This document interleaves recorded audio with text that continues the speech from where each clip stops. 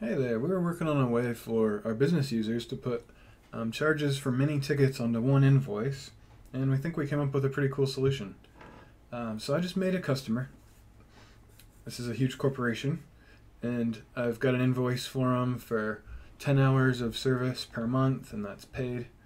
Um, we're going to turn this into a recurring monthly invoice in a moment. I'm going to show you a couple different options though. Um, first, we'll do how to manually do this. So this customer has a couple tickets open now.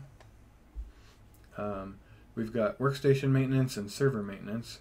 So if we head over to workstation maintenance and pop a couple charges on here, let's say we just did um, some labor for uh, four hours and we needed a power supply because two of the computers are dying. Um, then this ticket is good to go. Let's say we've left, we put a quick note on here saying we're done, and we just resolve this. So let's go to this customer's other ticket that's still open, the server maintenance, and maybe the server needs something else. Um, it needs some labor of one hour, and it's going to have a rush labor two hours. Okay. Um, so now a couple different ways about this. We could resolve this. We're done. Come back a little later to this customer and make an invoice. Now the invoice has a shopping cart with pending ticket charges.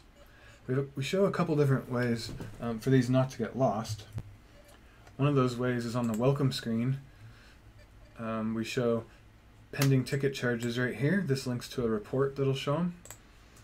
And when you're on this customer, or any of their invoices, you're going to see this shopping cart. You can just click add all and it will add all those pending charges uh, to this invoice. And it's automatically going to show from ticket number if this invoice isn't linked to that ticket number. So this is actually going to read really well when you give this to that client. So that's one way to do it. At the end of every month, you could go to the report for pending ticket charges, go to the customer, just click add all, and you're good to go.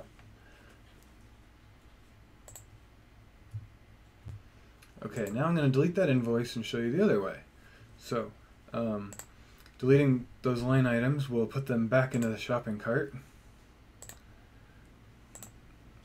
So it's just like this never happened. You can just delete the invoice. I just wanted to be able to see that. So um, delete the invoice. And now we're going to make a recurring invoice for this customer happen at the end of every month. We already have to bill them for that labor anyways. Uh, this would work with an empty invoice, um, like a catch-all, but we're going to do it this way. Um, recurring invoices, new, find that customer. And we'll call this monthly service. We'll do this monthly. We'll start at the 31st. We're going to copy the one paid invoice that is still in there. All these options are still good. We're going to just email this and add any pending ticket charges from shopping cart. With that checkbox there, any of those shopping cart line items just get stuck on this invoice when it's made at the end of the month. That's all there is to it. The first flow you saw with that add all is going to automatically happen at the end of every month. You never have to worry about charges going unbilled. And just for fun, let's check out that pending ticket charges report so you know what I'm referring to there. You don't want to um, ever lose track of those.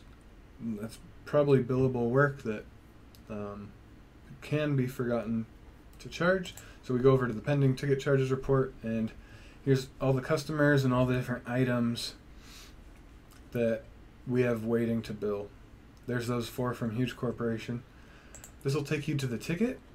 From the ticket, you could just make invoice or go to the customer, click make invoice, whatever you want. They're all going to pop in. Hope that helps. Have fun.